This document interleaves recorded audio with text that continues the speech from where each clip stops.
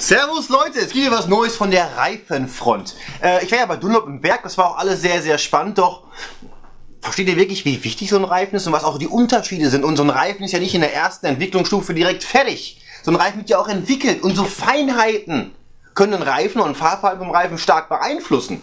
Äh, wir haben zum Beispiel hier, guck mal her, das ist ein Sportmax RT. Näher kommen. Hier sehen wir das Profilbild. Das sieht ja eigentlich fast so aus wie das hier. Doch kleine Veränderungen halten und stabilisieren den Balken in sich, wie der Reifen so arbeitet. Und das macht halt die Feinheiten aus. Und äh, ich habe mir überlegt, einfach so einen Reifen zeigen, draufhauen, cool sitzen, ja, zeigt ja nicht, wie so ein Reifen wirklich funktioniert und was die Unterschiede sind. Deswegen haben wir uns mal überlegt, wir gehen auf die Nordschleife, erstmal mit dem Produkt hier, quasi die Vorstufe von dem Endprodukt und ähm, ja, es mal an, komm mal rum, hier. Los geht's!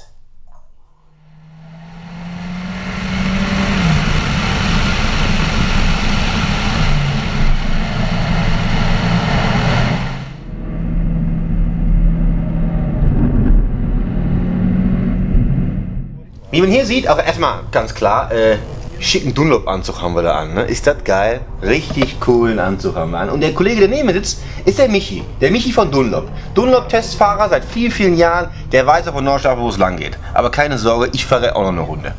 Ähm, wie man hier sieht, fahren wir die Vorstufe. Und man sieht, dass der Michi doll korrigieren muss und viel arbeiten muss, um das Fahrzeug quasi durch die Kurve zu buxieren. Da sieht man zum Beispiel, dass viel Korrektur ist. Und ähm, dass das Fahrzeug mehrere Lenkbefehle braucht, um auch wirklich durch die Kurve durchzukommen.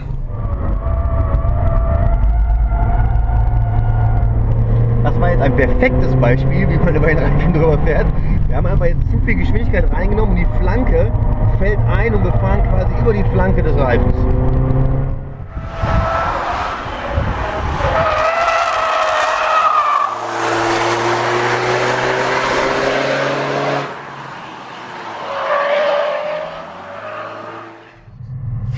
So, mittlerweile bin ich auch am Steuer mit dem Vorserienreifen und man sieht auch bei mir, äh, erstmal wackelt äh, kräftig, ne? der Michi hat Stimmung in der Bude und ähm, man sieht, dass ich auch viel korrigieren muss. Das, man muss viel arbeiten, um das Fahrzeug einfach auf Kurs zu halten. Relativ unangenehm und man merkt auch, dass das Feedback, was quasi vom Reifen in das Fahrwerk reinkommt, super durchmischt und gefiltert wird von einem nicht so stabilen Reifen. Der Reifen funktioniert gut, ist auch alles in Ordnung, aber es ist halt nicht ein Lenkbefehl und das kann man noch modifizieren. Und den Reifen testen wir jetzt. Im Großen und Ganzen, also das ist der Reifen, den wir gerade gefahren sind, sieht man ja keinen Unterschied wirklich.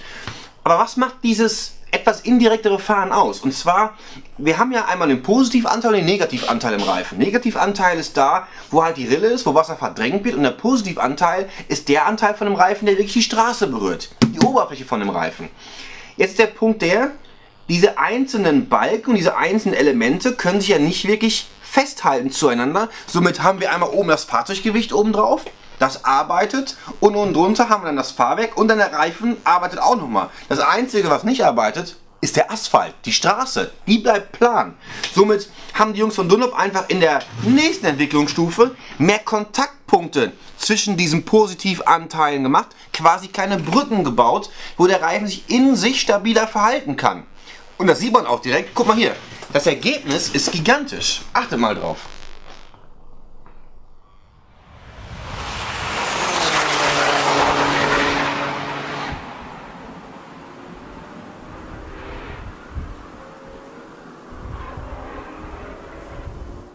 So, jetzt hat der Papa erstmal direkt das Lenkrad übernommen und man sieht, ich nehme die Kurve ins Visier und man, es ist ein Lenkbefehl und eine Position, ein bisschen Korrektur, das ist aber ganz normal beim Fahren und man kann sauber Linie durchfahren. Plus, was dann beim Video nicht so gut rüberkommt, der Speed, den man mitnimmt, ist viel, viel höher. Ein viel größeres Vertrauen ins Fahrzeug, größeres Vertrauen in den Reifen, größeres Vertrauen in das Fahrwerk. Man kann sich mehr zumuten. Dann kommt auch der Speed. Mehr Vertrauen zum Auto, gleich bessere Rundenzeiten. Das ist das A und O am Rennenfahren. Hier wieder ein gutes Beispiel. Ganz klar, ein Lenkbefehl, saubere Bewegung rein und raus. In der Längsbeschleunigung muss ich ehrlich sagen, tun sich die beiden Reifen nicht. Im Geradeauslauf sind sie fast identisch, doch beim Bremsen wieder, beim Anbremsen in die Kurve, ist wieder diese leichte Instabilität in den einzelnen Positivanteilen, in diesen einzelnen Blöcken zu merken.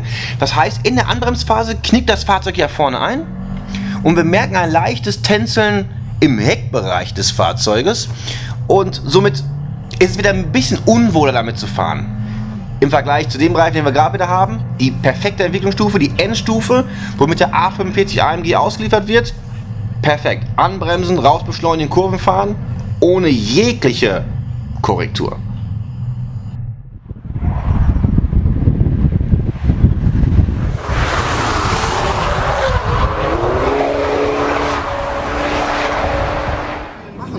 Solche kriegst du einfach nur auf der Nordschleife raus. Ja, was denke ich?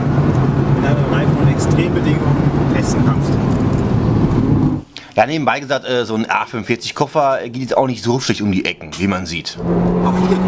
Obwohl so ein SLS 63 wäre jetzt auch nicht so schlecht gewesen. runterzukommen? Nächste Mal. Immer wieder geil. Fuchsröhre runter. Um die Wahrheit zu sagen, dafür lebe ich schon so ein bisschen.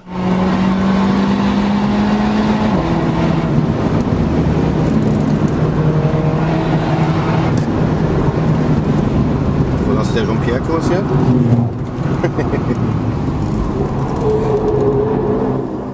Ohne die Nordschleife. Äh, Spaß beiseite. Wer kann ohne die Nordschleife leben? Es geht ja gar nicht.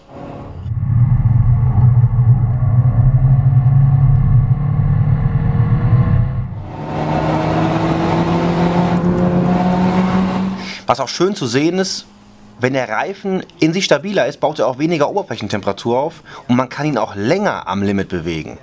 Die Vorstufe, hat man gemerkt, war doch etwas früher am Limit.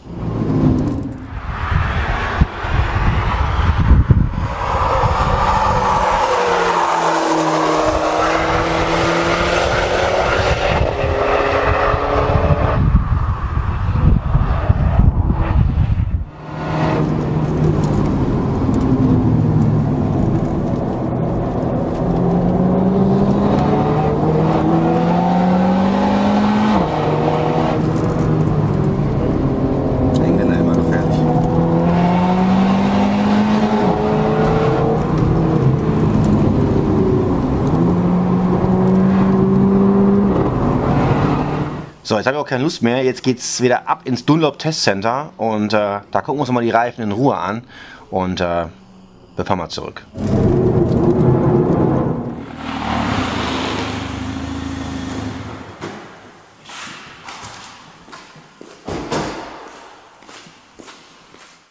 So, jetzt haben wir beide Reifen. Einmal den, den, den Vorserienmodell und einmal das aktuelle Modell, wo der A45 drauf ausgeliefert wird. Ich werd, beide sind geil. Ne? Aber man merkt schon deutlich einen Unterschied zwischen beiden. Ne? Auch vom Abfahrbild her.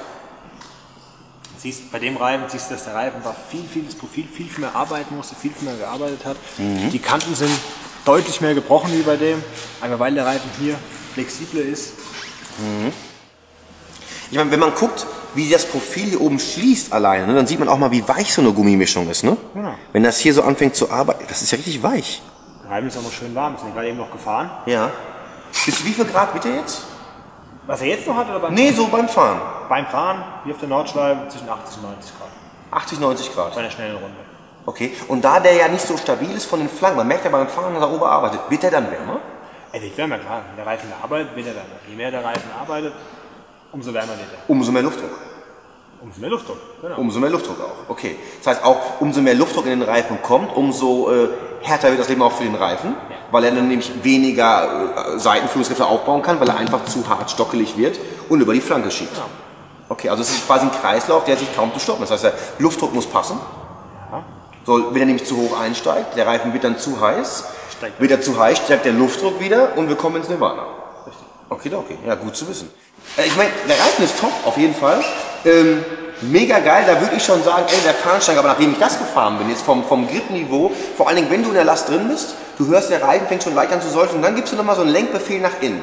Dass du die Kurve noch enger fahren willst, setzt er es noch um. Genau. Und das war wirklich da, wo der Unterschied zu spüren war. Du merkst, er macht seinen Job perfekt, kann aber dann irgendwann nicht mehr und dann kommt er ins Spiel und ist in der Lage, noch das Fahrzeug noch umzupositionieren. Ne? Und das ist genau, was ich dir heute Morgen gesagt habe. Ja. Ähm, uns ist wichtig, dass du mal merkst, wie man das Fahrverhalten von so einem Auto durch den Reifen beeinflussen kann. Ja, ich bin äh, baff. Ich hätte nie gedacht, dass das so, so viel ausmacht, dass das so viel Entwicklung dazwischen ist. Geil. So, Michi. Kann ich jetzt hier raus? Dann kriegst du eine gelbe Weste. Boah, dann ziehe ich mich draußen aus. Wenn ich draußen kann ich ja meinen normalen Klamotten. Ja, klar, oder? Gut. Digga. Bis nächstes Mal. So, tschüss.